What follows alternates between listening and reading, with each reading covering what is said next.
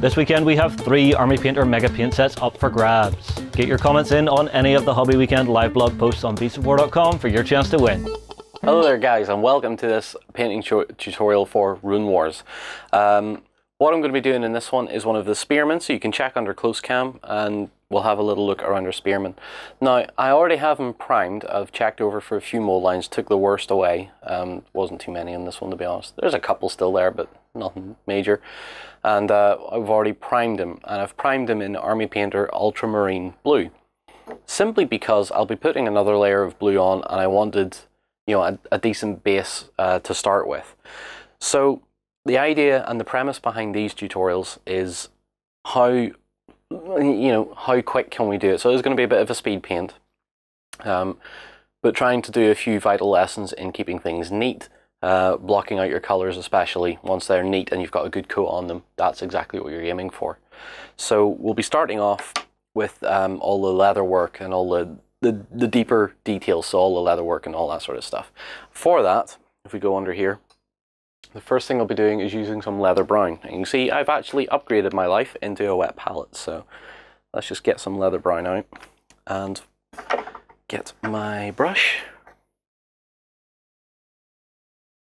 And what I'm going to be starting off doing, if we go under camera here again, is just anything here that looks like it isn't um, metal or armor. So let's start, um, let's start up here. Okay, and we'll just start putting, blocking out. And the idea of blocking out the colors is that while speed painting, you want to make sure that the colors are nice and tidy uh, so that when we come to the wash step, everything will tie in nice and the wash should settle really well. At least at this stage, when you're working with this color, you know, being one of the first colors you're putting on, you don't have to worry too much about um, putting paint somewhere you don't necessarily want it because the layers on top, when you figure the, the sequence of paints right, you'll find that you're actually tidying up the previous layer as you apply the next one. That's, that's the theory. There, I think that's all right.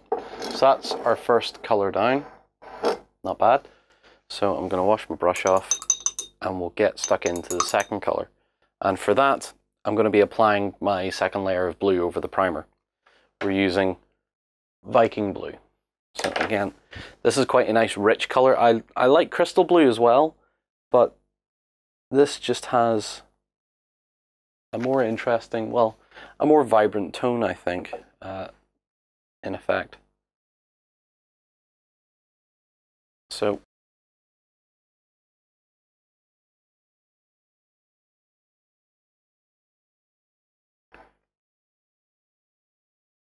And this, this is very similar to Crystal Blue, I would say. But there's just something a touch more regal about it. Something just drew my eye to this color.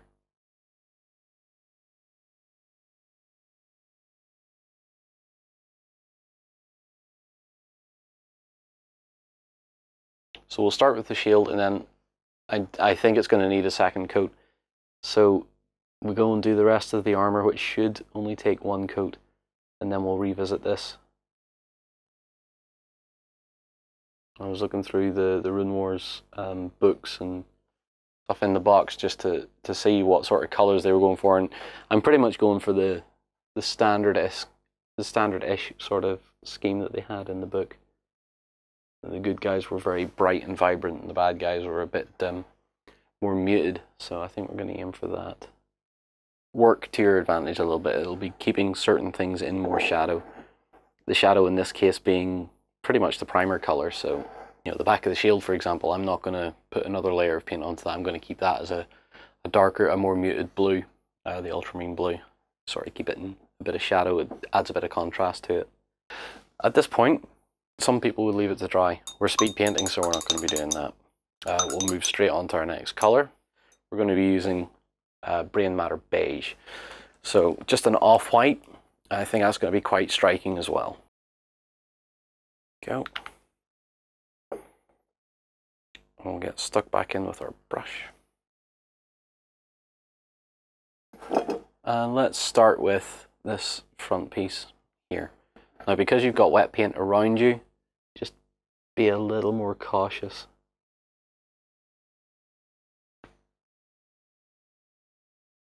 When you're doing this. What I would like to do at this point is just remind everyone that there's a lot of paint on here and it's not quite dry yet. So at the moment, what I'm going to do is step back, let it dry, and once it's dry, off camera, I'm going to add maybe another layer of this, uh, of the color we've just been doing, uh, which is the Brain Matter Beige.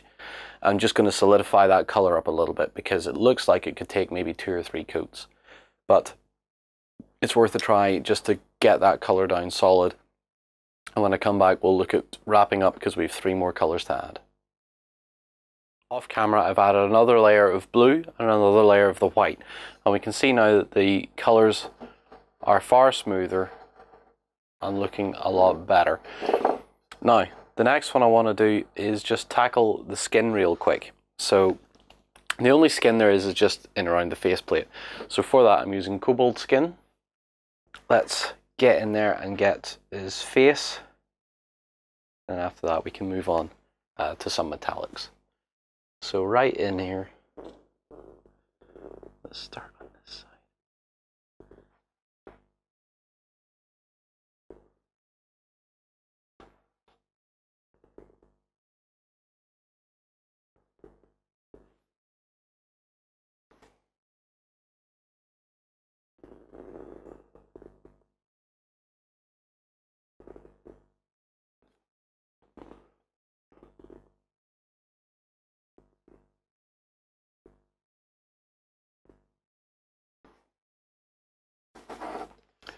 think that will do for the first layer anyway. We may need to give that another coat later on, or we'll just cover it up with some highlighting after the wash step. Next thing I'm going to do is work on the metallics. So there's a couple of metallics I want to pick out. The silvers and golds. The golds are going to be on the, the edges of the armor plate, the actual big heavy plates that he's wearing. The silvers are going to be on the likes of what I'm calling the scale mail, down just below the, the shoulder plates and around just below the, the belly plate there as well. So for that, I'm using uh, plate mail metal. So it's quite quite a shiny one, but not the most shiny that we have. We'll start with the, the plate mail down around the bottom at the back here. Or sorry, yeah, start down here.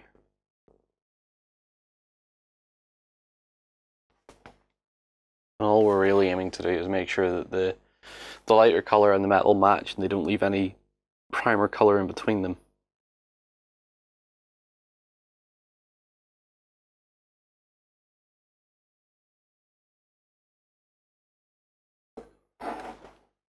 Okay. Pretty good. Alright, so we'll move down onto the underarm pieces. So just all this stuff underneath this plate. And it goes right underneath the arm too. It's sort of almost a shirt or a tunic.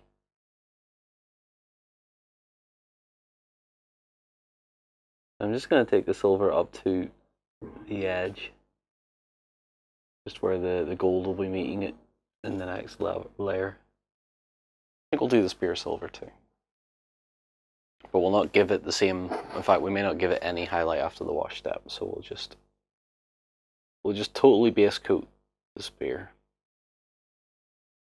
Because it has some wrap around it and I think we'll we'll come back to that with uh, some of the Viking blue after the wash step perhaps. In fact we'll take it up to here just to the, the guard of the weapon and we'll do that in the gold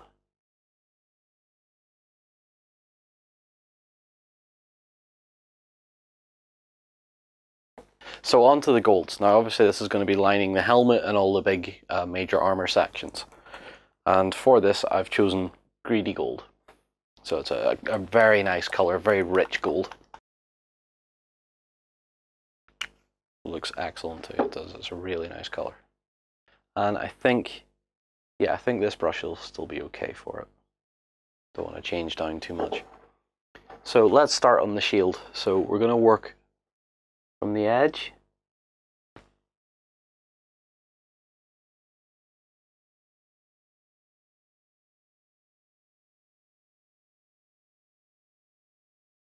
Start from there.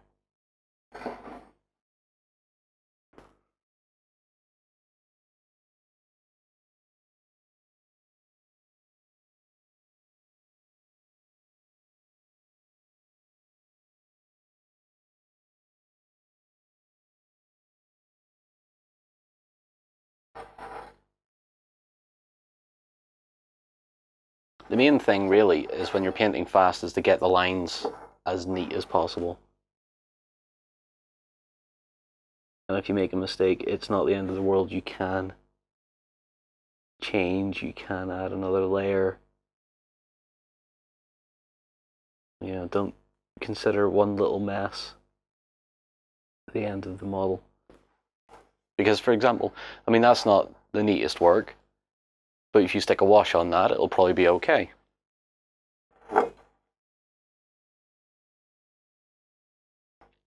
Not the best. In fact, do you know what? Just fill that in.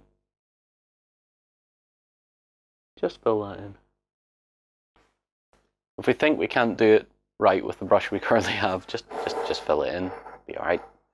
The the rest of the lining is pretty small and delicate, so I'm going to change brush. I've currently been using a Wargamer detail brush and we're going to have to go down a size here. Let's start in the helmet. So from the front of the faceplate.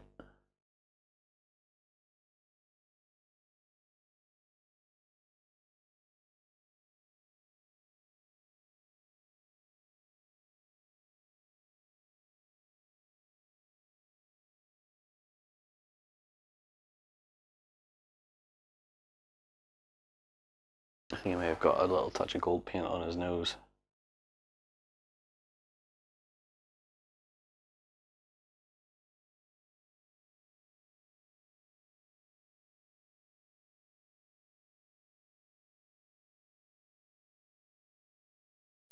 So something like that on the knee, I quite like that.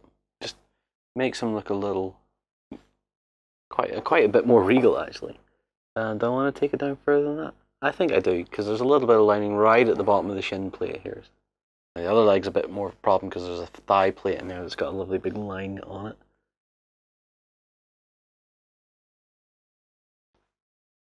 It makes the armour look very segmented and very heavy, which is appealing to me.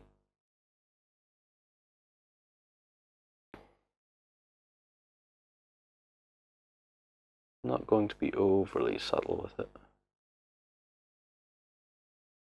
Again, we're spending too long, well, we're spending long enough blocking colors out that once we do the wash, the model could potentially be called finished. I mean, for me, you, you, you paint until you're satisfied, not anyone else. It doesn't matter what anyone else thinks, to be honest with you.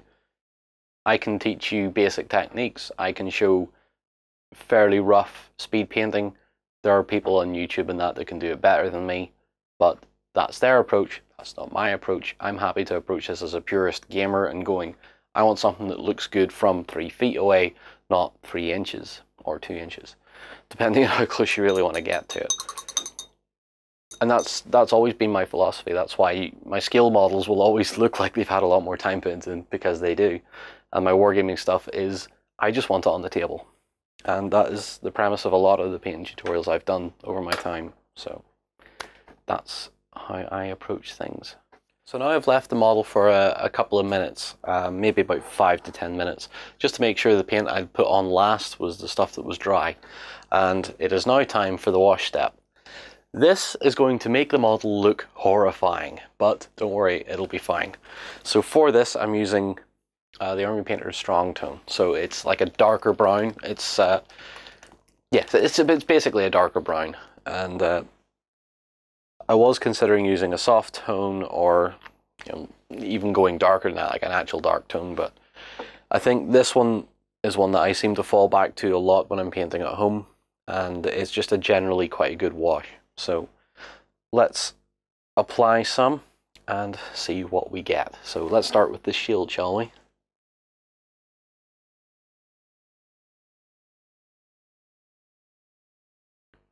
What you're looking for this to do is to darken everything a little bit get into the recesses like it is on the shield. Oh, a bit heavier on this side. But don't let it pull too much in areas you don't want it to, so like the bottom of the shield or anything like that. I want to make sure that it gets in around the rivets on the shield too.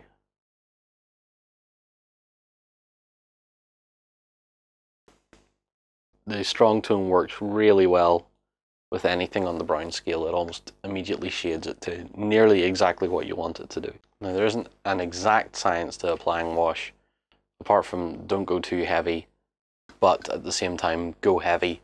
so it's a it's a matter of taste really how heavy you want the wash to go on, so long as you make sure that it doesn't start to puddle and pull in areas that you don't want it to. I'm going to avoid the the blade of the spear because I want it to be a lot cleaner uh, than the rest. I want it to look particularly bright against the rest of the miniature, even after we do the next layer after our um, wash here. Warren and all that will tell you the more detailed a model is, the wash will help the model almost paint itself. Now I agree with that philosophy, but at the same time a model that has very simple details like this, the wash really accentuates the shapes and the edges of stuff a lot more easily than a, a complex model with a lot more detail in it. So you will almost feel like it's got a more comic book style to it because it will have the the wash settling in places where the lines will be more defined than if you had, for example, a model that had very fine detail but had a lot of it. You would get that detail and it would be visible and it would be beautiful. But at the same time, it wouldn't have the same presence I suppose, in a, in a manner of speaking, it doesn't have the same presence uh, than a model like this when it's given a good wash.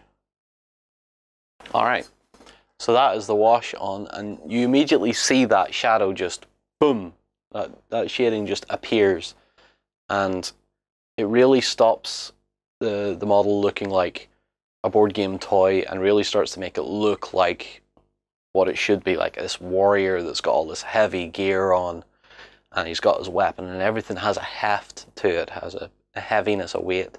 Once this is dry and we start to bring up highlights in certain places, that is when the model will finally pop.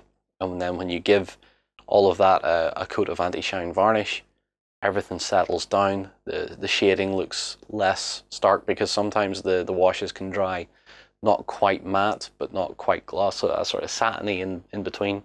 When you get a layer of varnish, it just kills all of that down, brings it to the same level of shine, which is practically nil. And then you have a really decent looking gaming miniature. Okay, now at this point you can see that the miniature is mostly dry and the shading has taken rather well. Uh, it's left the shield a little bit dirty, but I don't think that's a major problem either. Now, the idea is from this point, we do layering. So we add another color on top. So they say la layering, so you'd add a couple of thin coats or something to bring the brightness back up. I'm only going to try and do it with one layer. Uh, so a thin-ish coat of something a little bit brighter um, just into the, the areas where I want a bit more detail, a bit more highlighting to make the model pop.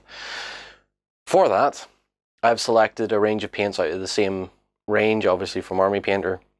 So just the slightly higher tones that they had in their boxes are in their range just a slight tone higher than what the, the base colors were. So let me see, for example, what we did start with the browns was leather brown, and from that we're going to highlight with monster brown, so there's a slight difference to it. So it'll be, again, six colors we'll try to highlight with, and of course we're going to start with our monster brown, and this is going to highlight all the leather detail up. So I'm just going to put some of that onto my palette.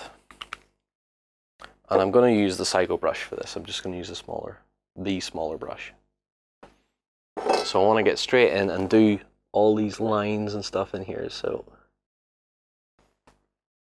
yeah, pretty much that. and just picking any of the raised areas.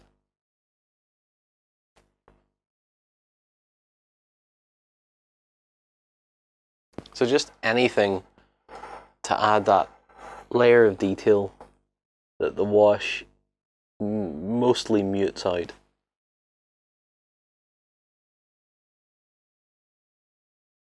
Just just something in there that just adds a bit more depth. So that'll do for the brown. We can then move on to the blue. Now, for the original blue, we did Viking blue over the primer. Uh, for the highlight, we're using crystal blue. Again, I'm just going to use the Psycho brush. I'm going to water it down a little bit more actually and just do it almost as a, a proper layer because the, the areas that have the blue are quite extensive and you don't want them to, to look streaky in a manner. So let's start in the shoulder pad up here first, so up here. What this layer is basically going to do is just make it look a little less dirty than what it already is. And of course, when you come to the, the battle damage zones, just ignore those. Just let the let the tone, let the wash keep that there and make it look more apparent. So where the battle damage is, just ignore it. And you want to focus the, the highlight on the center of the panels.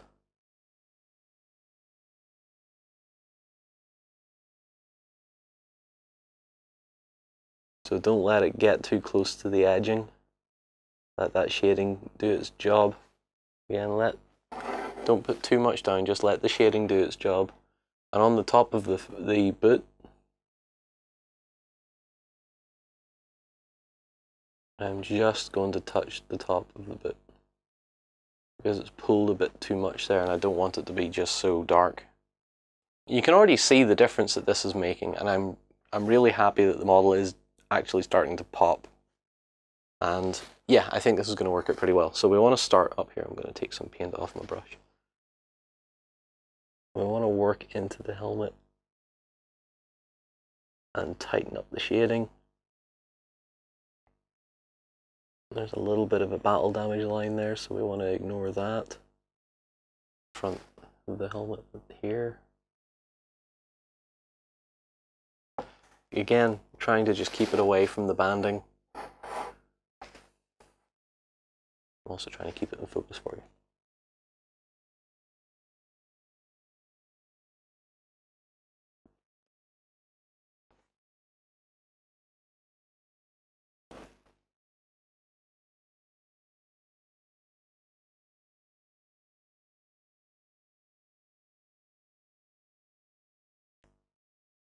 if any, if nothing else, is just cleaning the finish a little bit. And I think we'll only take that right there. Let that battle damage talk for itself a bit.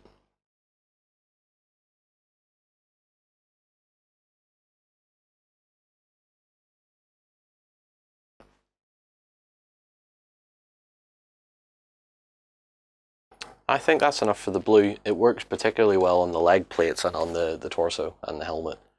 So I'm quite happy with that. Let's get some of it onto the brush. I'm really only looking to touch the very edges of this, I think. So let's say from the front here, I want to take the top of the creases.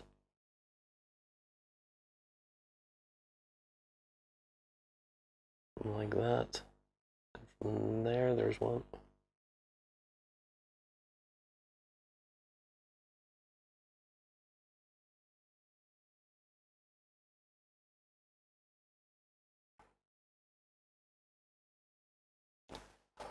And something like that works kind of well. And then further around here.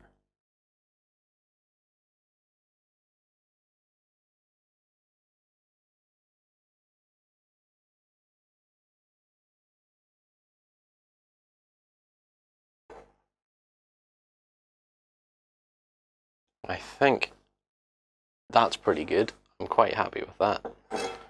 Certainly a bit brighter anyway. We have to highlight the skin. Now the skin's going to be quite easy because there's not a lot of it showing up. So I'm going to tell you again. Uh, we first used Kobold which is you know fairly standard skin color, and now I'm going to use corpse pale, so it's a much more pinky sort of lighter color. And this is simply going to be to accentuate the likes of the chin and the nose. Get our tiny little brush again.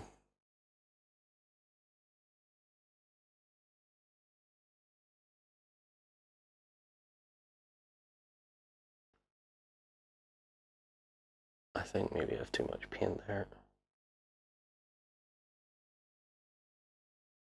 Something like that. And down at the bottom of the chin. Sort of frame the bottom of the face a little bit. And then this lip. And then this lip. And the bottom of the eyes.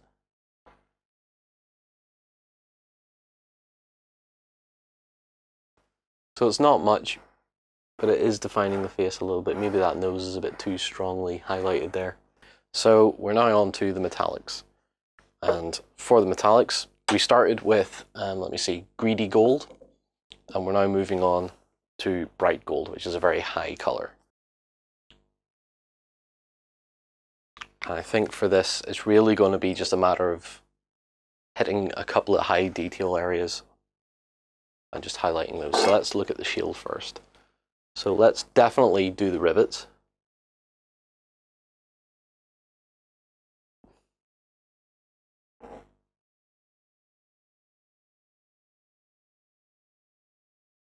A little bit of a highlight there. Just on the very upper edge. Like that. And then down this side where the, the light will be glinting a bit more.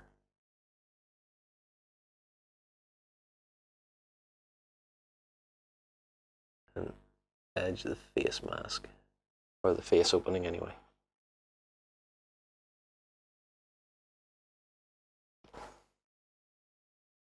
Like so. Okay, and then we'll just highlight the upper part of the spear's blade as well while we're at it. So just the cross guard. There, and there, and a little bit up the middle. And that should do that. Okay, so now we're starting to really see what this miniature can look like with a bit of highlighting in there. And I'm really starting to really appreciate the, the shape of it. Now, we have the silvers to highlight. Now there's not a terrible amount of it, but it's going to be there and you're going to notice it anyway. So we started with um, plate mail metal, as the base color and we're moving up to shining silver. And it will have quite a bright sheen to it so this is really just going to take um, the glint from the likes of the scale mail down around his waist. So let's pick out bits just little bits So little lines or dots, anything that really starts to make it shine a bit more. At a distance, you'll still notice the change of materials being used in the model's makeup.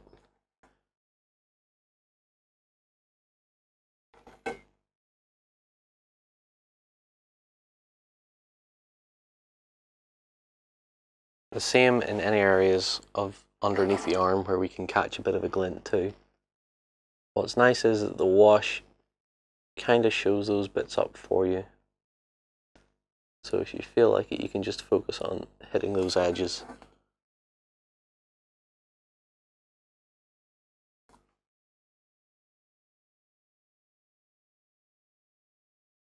Like that. And it really does, really does make the model pop doing that. There is one or two more steps here. So what I would like to do right now is take um, our base color, which was Viking blue, and I'm going to paint the, the little bits on the spear just to give it a bit of color.